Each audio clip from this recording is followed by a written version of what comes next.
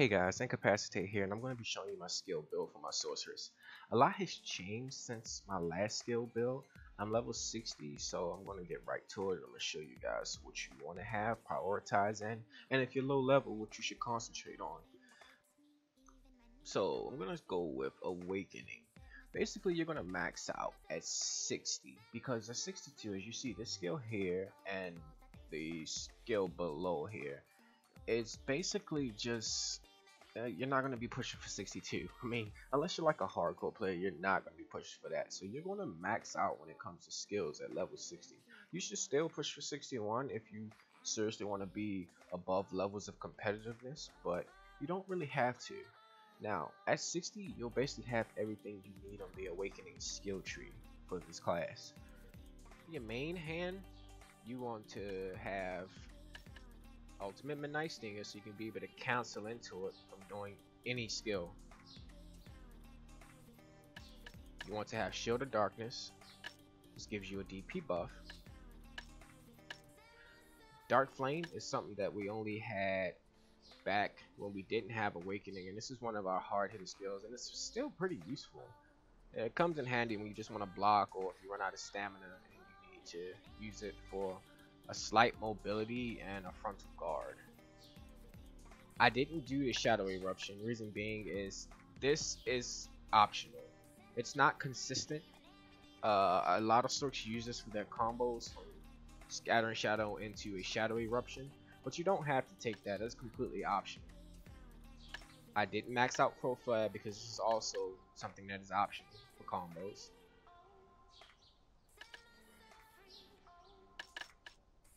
Dream of Doom, you have to max this out. This is one of them skills that is like your initiated skills that you'll be using a lot because Imminent Doom is instacast throw it. I'm just gonna scroll through so you guys can see everything I didn't cover. I just covered all the main things.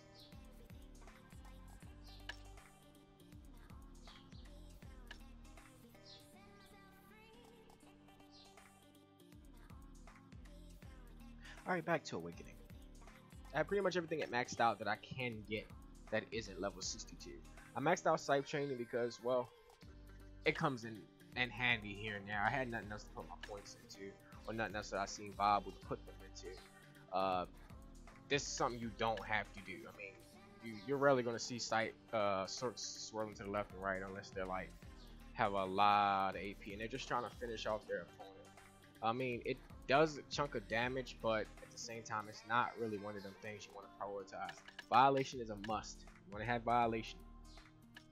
All the fucking awakening skills really you want to have, but these are the skills if you're just starting out and you're just making your sword, you want to make sure you have violation when you hit 56. You want to make sure you have turn back slash dead hunt. You want to make sure you have Grim Reaper's Judgment. Uh, all these other skills like Blade of Darkness, uh, Cautions. You don't have to break your neck for Blade of Darkness.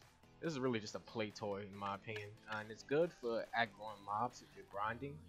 But you don't really have to like prioritize yourself into getting this. Although, there's ways to use this when an attacker will fight. Here is an example.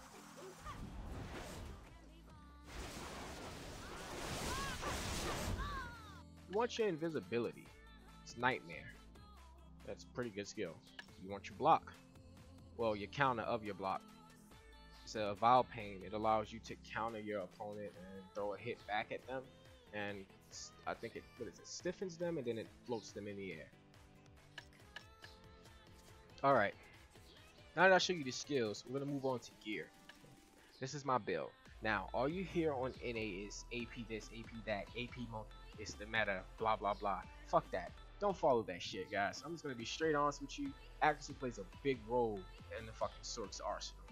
You want to have an offhand that is accuracy. If you don't have that, you're gonna at least have to have two tri rip core rings if you're gonna be running full AP.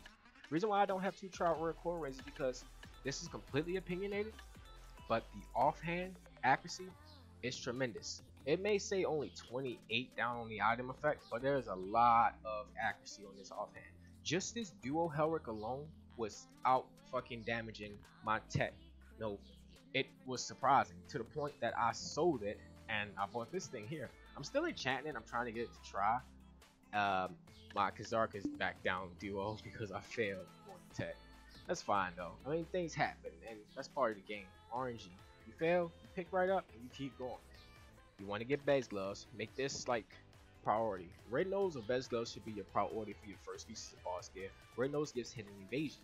Tree's okay. Tree tree's good actually. Tree has better stats than Red nose, but it's not tremendous. Try to get Red nose because Red nose gives a lot more DP over normal gear and it gives evasion. Want to get bags? Bags is your accuracy. Kzarka, bags, and this accuracy talisman, all accuracy. There's no reason why you should just be running around with no accuracy at all and have 200 AP because that's not going to help. As you notice, I have a Rick talisman up here and I'm also plusing. I use this during the wars and sieges because I am very hard to hit during this. Uh, I know if you've seen, any of you ever seen most of my videos, you say, oh, the guy's not taking damage. Is it because he's level? Is it because he's fighting under people? No, it's because I have all this damn evasion on. It is very hard to hit me during. And now, on top of that, I almost have 290. That is terrifying when fighting people that don't have a lot of accuracy stacked up. So I'm just telling you guys now, do not follow that meta. Everybody's telling you to stack AP, that's just so they can counter you and stack evasion and completely out fucking clash you and outskill you in their opinion. But if you run accuracy, you will be able to take on a lot more opponents than just sitting there running full AP. So that's the last time I want to say that, guys. Do not run straight AP. Do not follow that bullshit. It's a meme. It's a fucking meme. Alright. If anything, guys, um, I just want to show you all the skill build and the gear. Uh, here's an updated guide for you all, and I hope you guys enjoyed. Please leave likes and comments if you have any questions, and I'll be here to answer them.